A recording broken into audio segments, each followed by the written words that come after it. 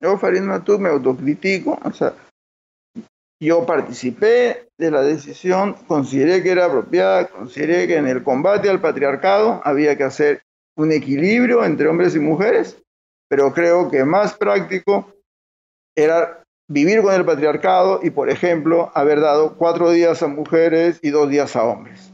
Pues la realidad del patriarcado tiene que desaparecer, pero estamos en medio de la epidemia hay que sobrevivir con él. Yo en lo personal creo que me equivoqué y que debí haber sugerido cuatro días para mujeres y dos días para hombres que reflejan la situación de opresión al presente de, de las mujeres en una sociedad patriarcal como la que vivimos. Ese es un error que yo, digamos, yo la prioridad que establecí es queremos igualdad, no podemos reforzar el patriarcado dando más días para las mujeres que para hombres, pero la, la realidad lo que muestra es de que el patriarcado se impuso, entonces tenemos de que por más que hay tres días para mujeres y tres días para hombres, los hombres iban a perder el tiempo y las mujeres es la que efectivamente se encargaban de hacer las compras.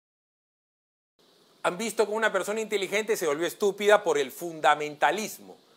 Tulio Loza decía el comunismo fundamental, una fundamental. Entonces, Matuk sabe sumar, restar, dividir, matemáticamente debe tener su IQ, pero la ideología lo vuelve idiota. Mire la estupidez que ha dicho. O sea, queríamos vencer al patriarcado. Farid, ¿quién tiene más fuerza para cargar una bolsa, tú o tu mamá? Farid, si tu mamá vive como la mía, debe tener la edad parecida de la mía. ¿No? Ponte a pensar que tu mamá tenga que subir un cerro con 8 kilos de comida. ¿Cómo hace la señora? La señora te hubiera llamado a ti, pues, por el patriarcado, para que cargues la bolsa, pues, hijito. El común de los mototaxistas son chicos hombres. Hay que vencer el patriarcado y los pecados. Pero esa es la, así como de Belaonte tenía esa agenda de decir que los trans y los travestis salgan los dos días. Y Morán aflojó. Y el presidente de la conferencia, ah, ya, ok, que salgan los dos días. Eso era lo importante, eso era lo sustantivo. Lo sustantivo acá, lo importante es que no tenemos pruebas, no tenemos respiradores, los médicos están mal pagados, no le pagan a las tercerizados. Los médicos del MINSA y de salud, si se quejan, los votan. Este gobierno compró mal las pruebas. Ese es responsabilidad de Vizcarra y la señora Inostroza, a la que le han premiado siendo asesores Morán para callarle la boca. Este gobierno está mintiendo y ocultando información.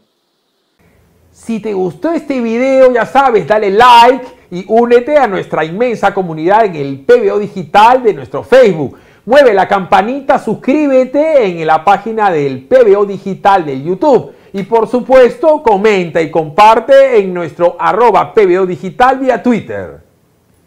CompuPalas es el mayor centro tecnológico del Perú y está a dos cuadras del óvalo de Miraflores, a la altura de la cuadra 53 de la avenida Petituars. Amplísimos e iluminados locales para que compren la tecnología a su alcance. Computadoras, Macs, iPhones, iPads, Androids, Samsung, servicio técnico y todas las seguridades están en el centro de Miraflores con CompuPalas.